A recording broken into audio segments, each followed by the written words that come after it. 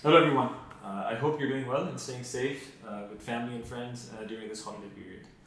Um, we're almost at the end of 2020, and uh, what an interesting uh, and challenging year uh, for all of us.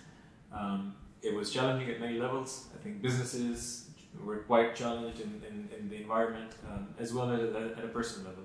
Um, a lot of us have not been able to travel, haven't been able to see loved ones. Uh, but 2020 also presented an opportunity to be closer to the very people um, that matter in our lives. Um, you know, both from uh, again from uh, a family angle as well as as well as businesses. You know, um, I for one feel that we've been able to form stronger bonds um, and relationships with with uh, the people that we work with at, at work, um, as well as our clients and partners, uh, and also at you know at a personal level, um, being able to spend more time with family.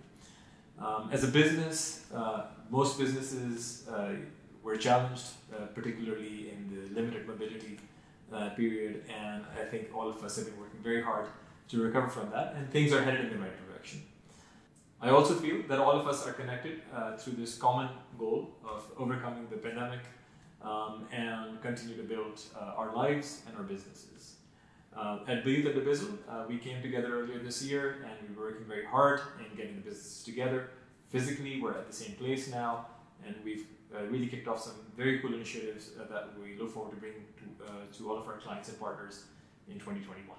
With that, I wish you, your families, and your loved ones a very happy and prosperous 2021.